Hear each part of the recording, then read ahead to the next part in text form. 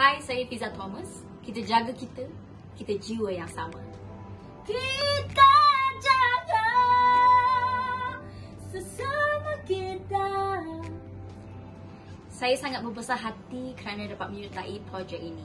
Sebab saya percaya lagu ini dapat dikenang apabila kita dapat melawan COVID-19. InsyaAllah.